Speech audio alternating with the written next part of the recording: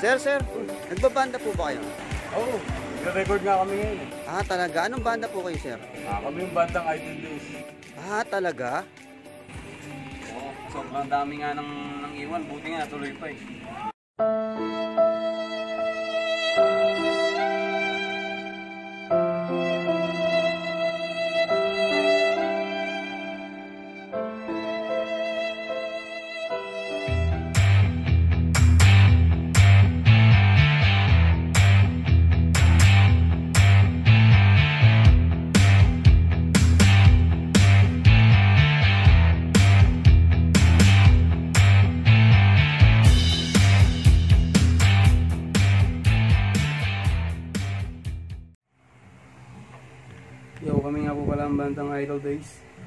Nandito po kami sa Aftermath Studio. Para baguhin yung palpak na palo ni Frank. You know, what's up mga tropa peeps? Uh, ito nga pala kami nga pala yung bandang Idol Days. Actually, kung mapapansin nyo, bakit na kami tatlo lang nandito? Ah, meron na kami mga re-reto yung mga drums, mga gitara sa recording namin actually. This is our third day ng aming ah, recording. No, so yung dalawang kabanda namin hindi mo na namin pinapunta dahil medyo hectic yung schedule nila. May mga lakad, may mga mga ginagawa. So for now, dahil drums lang naman yung papalitan namin, ah yun na muna yung focus namin for now. This is our third day na nagre-record kami.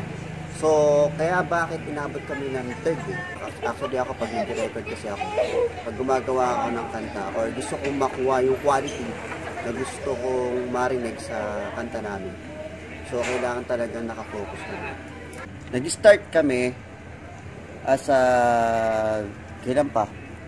Isang buwan na halos yung recording namin. At the same time, kasi yung recording namin kasi, ah, may mga video clips na rin kaming ginawa para sa music video na rin at the same time.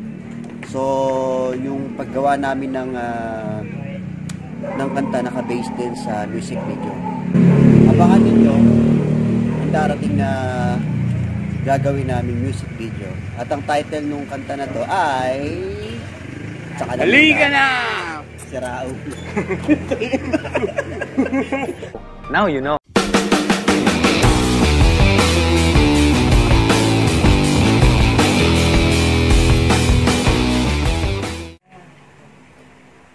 So, ito po, no, ito yung studio na pinag-recordan namin dito sa Aftermath Studio. At ah, papakilala ko sa inyo, syempre, yung nagmamaster ng record namin, si Sir Ron, tsaka si Ma'am Sheena. So, yun, then sila. Si Sir Ron, tsaka si Ma'am Sheena, kaway-kaway po kayo. Yan. Yan, sila po yung gagawa ng aming ah, record, yung mixing, and of course, yung aming music video. Ah, syempre, of course, nandito tayo sa studio. Ongoing yung ating, ah, magsisimula pa lang actually yung pag-edit nung drum set. Kasama natin si si Frank. Ayun yung aming drummer. Yeah! Ayan, ayan. At yung uh, siraulo namin gitarista. Yeah! Yan, siraulo talaga yan. Sayansaan nyo na po. Five minutes later.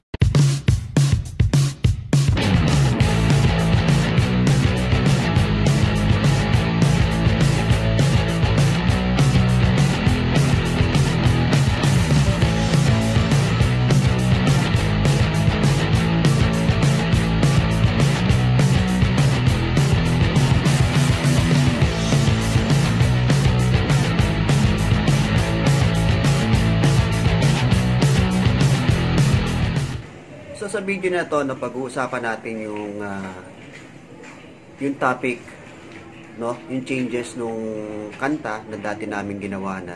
Ah, actually, meron na neto sa video namin, no, sa sa channel ko na papinalitan lang namin yung intro, of course. And ngayon, yung first video ko ngayon na to, ang title nito is Introduction. Sa kantang Halika na, dun sa kanta namin na yun, sa una, ah nai-upload ko dati, siguro 2015-14 pa yata yung in-upload yung demo record. Kantang Halika na.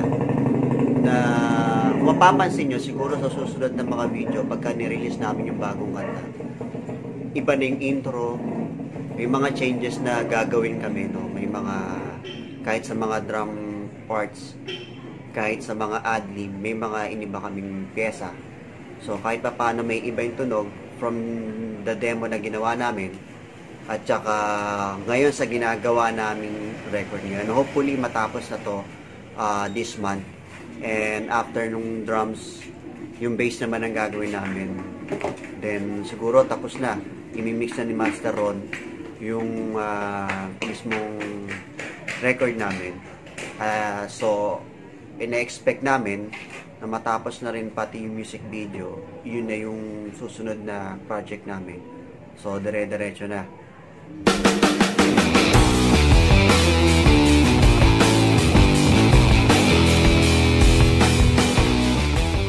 So, yun nga, no, inabot na kami ng uh, anong oras na?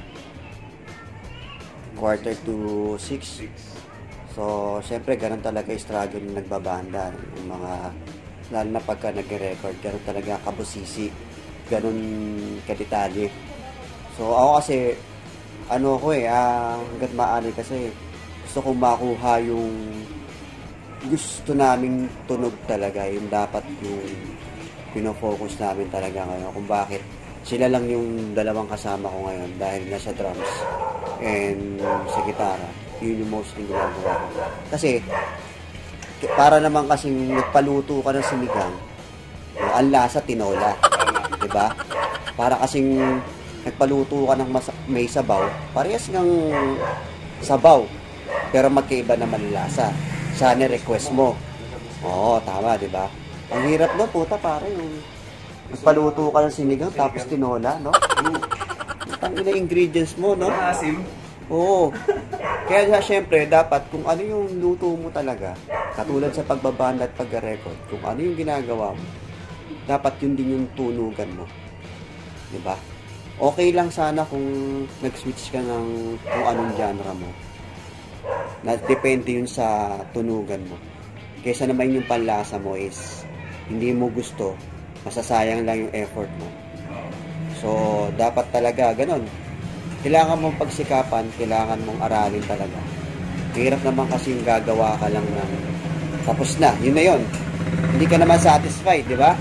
Ang hirap nun, para kang para kang ba- bandang huli magsisisi ka after. Eh, syempre, nagbayad ako ng mahal, kunyata, di ba? Tapos ganito-ganito kalalabasan. So, bakit hindi mo pagsikapan? Ganun talaga no? Sa mga hindi nakakaalam. Iba-iba kami ng location. Uh, like for example ako, sa may Caloocan South ako, North sila. So, ako walang diferensya kung ano man yung uh, location. Wala akong problema. Basta mapuntahan ko tong ginagawa ko. Gusto ko to eh. Nag-enjoy ka. Nag-enjoy ako eh. Kumbaga ito yung remedy ng mga struggles ko, yung mga yung mga anong tawag doon, yung mga pinaghirapan ko. Ganun yun. Although, syempre, kung meron kayong mga trabaho, huwag nyo rin pabayaan kahit paano nung kayo kukuha nung finance ninyo, eh, di ba? So, yun. Ang may papayo lang namin, huwag kayong mag-quit. Tuloy-tuloy lang. Kahit malayo yan, puntahan nyo. Huwag kayong magsawa. Kasi para saan ba't pupunta ka rin dun sa gusto mong mangyari. Ganun lang yun. Ganun lang kasimple. Hindi yung iiwanan ka. Di ba? Oo. Parang sa dyan iniwanan. Yan, yan, yan. Yung mukha na yan. Yung mukha na yan, yan. Mukhang iniiwanan. Parang hindi lang ako pero uh, may akong problema. Hindi, okay lang yun, pre. Ngayon, may bago ka ng pamilya. Bandang Idol Days. ano, pre? Kamusta yung palo mo? Ayos lang, ito. Nabawasan ako ng 2 kilos. Para kang nag, ano, no? Para kang nag-jeep na lang, no? Mm, kasi kailangan perfect yun eh. Oo, bagay. Yun talaga yung struggle natin, eh. Oo. So, ano yung pwede natin pag-usapan o yung may papayo nyo sa mga magbabanda pa lang? Ah, oo, yung sa mga nag-start pa lang. Ah, siguro, practice lang. Tsaka mag- makinig lang kayo ng mga sounds na gustong gusto nyo pakinggan. Yun lang, mga alternative yan. Tsaka dapat ugaliin natin na tangkilikin natin yung mga OPM. Oo, no, tama, tama. Kasi sa atin talaga nagsimula yan eh. Oo. So, ikaw naman parang dyan, parang. Ah, tiyaga lang. Pag sumikapan yung tupakin yung mga pangarap nyo kung nangangarap kayo magbanda. Yun, no? Puta, parang lalim na na. ha? So, Kasi ano pa? pa lang ako, gusto ko talagang magbanda eh. Hindi ko man hinangad na sumikat, pero kung ibibigay yung bakit naman hindi, di ba? So, dapat enjoy lang. Enjoy lang ang pagbabanda. Oo, sa bagay, no? Tsaka yung mga tips para maging matagumpay kayo sa pagbabanda, unang-una, huwag kayong kakain, huwag kayong maliligo. Pero higit sa lahat, huwag na huwag niyong iiwanan ng mga niyo. Oo, oh, totoo. Tungo na pare, ba't may hugot kang ganun? Wala eh. Ha? Walang iyakan. Iniwanan ka ba ng kabanda mo? Hindi, iniwanan akong dati kong asawa. Naman, asawa pala eh. Bakit banda yung pinu- Bakit banda yung pinu- Ah, kasi iniwan ka ng... iniwan ka ng asawa dahil nagbabanda ka? Ang bihira yun ah. Yan si Max. ah. Sobrang busy. Minix ko yung record namin. Yan. so, Master Ron. Ma-interview man lang kita. Ano bang... ano bang pinagkakaabalahan mo ngayon na bukod sa aming ah, record? Ah, wala naman, MV shoot lang. Music video. Music video ng ano, sir? Ah, yung sa kanta namin. Tapos, yun lang naman. Wala naman ba? Ah, so yun. So yun sir, eto at matanong ko lang para yung idea lang sa mga ma, sa mga magpapa-record, sa mga gumagawa ng music video and al- also yan yung mixing niya yan. Gaano katagal yung process niyan?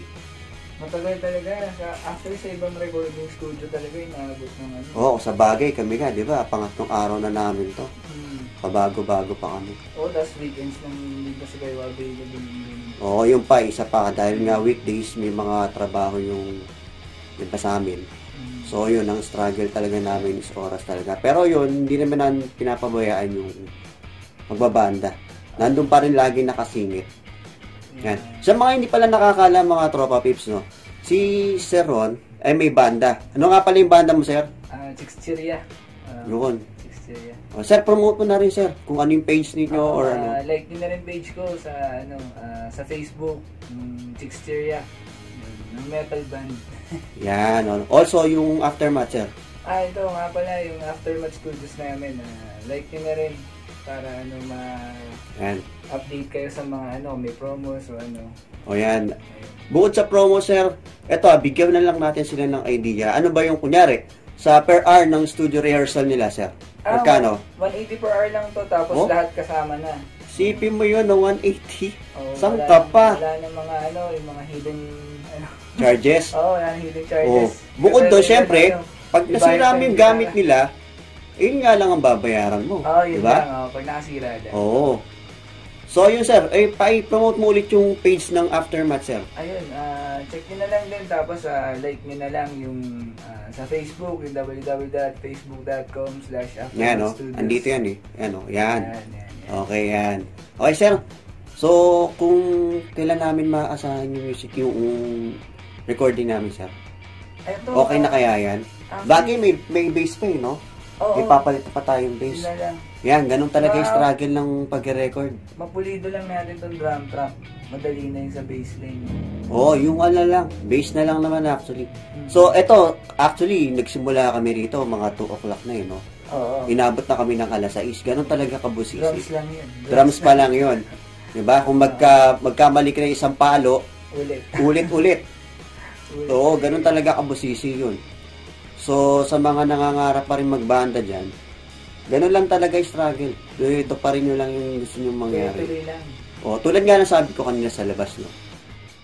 Para kang kumain ng, para, para kang nagpaluto ng sinigang, ang lasa tinola. Di ba? So, kaya kailangan, kung ano yung gusto mong ma-achieve na lasa, doon sa kanta na yun, Yun talaga. kailangan mo talagang i-detalya. Ano? Oo. Ah, paano? I-detail. Oo, Yan, in English. kailangan- kailangan mo talagang i-detail talaga kung ano yung gusto mong kalalabasan. Ganon talaga, ganon talaga kahirap. Oo. So, kahit eto si Sir Ron, hirap to sa amin. Oo, kasi hirap na hirap sa amin to. Sa, sa banda talaga iba-iba timpla niyan eh. Oo. Oo, lalo na iba-iba yung genre, di ba? Hindi pwedeng ako yung ano eh, masunod dun kasi kanta niya yan eh. Kaya Oo, kailangan natin yung tunog na gusto niya talaga. Oo, tama. Ganun talaga. Para kang umorder ng ano ng adobo, tapos binigyan ka may sabaw. Oo, kasi iba ano eh. Sila na lang, yung ibibigay na lang sa inyo, yan na yun. Tapos magugulat ka na lang, ba't ganito? Nag-iba na Oo, tunog tama, tama. ko, ah." Iba talaga pagka ano. So yun nga mga tropa pips no. Ah, nagpapasalamat kami kay Sir Ron sa banda rin niya, Chichira. I-like niyo na rin yung page niyan, Mm. no? Sa marami pa silang mga ano ginagawa. Busy rin sila actually, inistorbo lang namin sila. So, inistorbo lang namin sila para at least ah, masimulan na namin music video Ah, oo, yun. na gagawin namin um, siguro two weeks? Oh, from now. two weeks from now, masimulan na namin music video. Yun ang aabangan ninyo. Ipipost namin, ipopost namin yun sa page namin. At ah, syempre, update-update na lang. Di ba? So, yun, Tropa Pips. Maraming maraming salamat. Magandang gabi sa inyo.